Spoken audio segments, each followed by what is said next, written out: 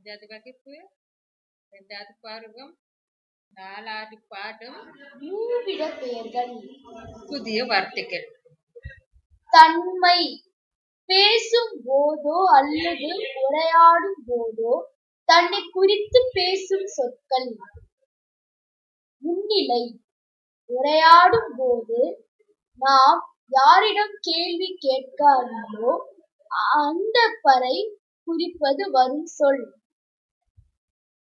படற்கை. உரையாடும் போது பிறரை குறித்து வரும் சொற்கள். உரையாடல். இரண்டு அல்லது அதற்கு மேற்பட்டோருக்கு இடையே நடக்கும் தொடர் பேச்சு.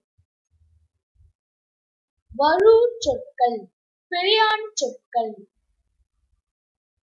வருணனை அழகற்று வென்று கூறுதல். மாற்று பெயர் சொல். பெயர் சொல்லுக்கு பதிலாக பயன்படும் சொற்கள். இந்த வீடியோ பிடிச்சிருந்தா மறக்காம லைக் பண்ணுங்க ஷேர் பண்ணுங்க சப்ஸ்கிரைப் பண்ணுங்க. கல்வி முதற்கண்ணில் பெல் ஐக்கான் பிரஸ் பண்ணுங்க.